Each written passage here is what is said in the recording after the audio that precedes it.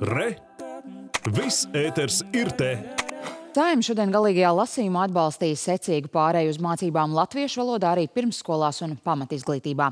Likuma grozījumu pēdējā apstiprināšanas stadijā šīs dienas sēdē dažādu frakciju deputāti bez savstarpējiem strīdiem par tematu neiztika. Plašāk stāsta Krišs Kairis. Saimā apstiprinātais regulējums noteica, jau no nākamā mācību gada izglītība pilnībā latviski tiks īstenot pirmsskolās, kā arī 1., 4. un 7. klasē. Savukārt no 2024. gada 1. septembra mācības latviski īstenos 2., 5. un 8. klasē, bet no 2025. gada 1. septembra arī 3., 6. un 9. klasē. Saimnes sēdē pret grozījumiem bija saskaņas deputāti. Es tomēr ierosinu mācību mazgumtautību valodās izbeigšanu atlikt uz kādu laiku.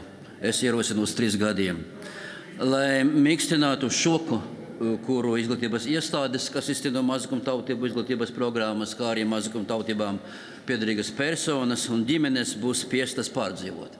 Tikmēr politiķi no koalīcijas partijām par ierosināto priekšlikumu bija citās domās, norādot, ka tas Latvijai ir ļoti nepieciešams. Uz šiem likuma grozījumiem mēs esam gājuši 30 gadus.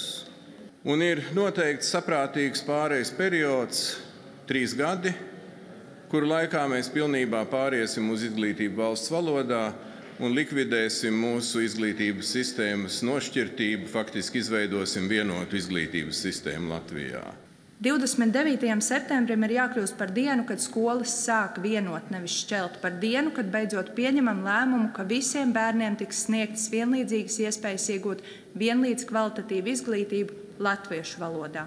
Ar grozījumiem arī plānots pilnveidot regulējumu par izglītības iestādes vadītāju un pedagogu valsts valodas prasmi un lietojumu. Tiek lēsts, ka pārēj uz mācībām latviešu valodā attieksies uz 17% skolotāju un 24% skolēnu mazākuma tautību pirmskolas izglītības, pamatizglītības programmās.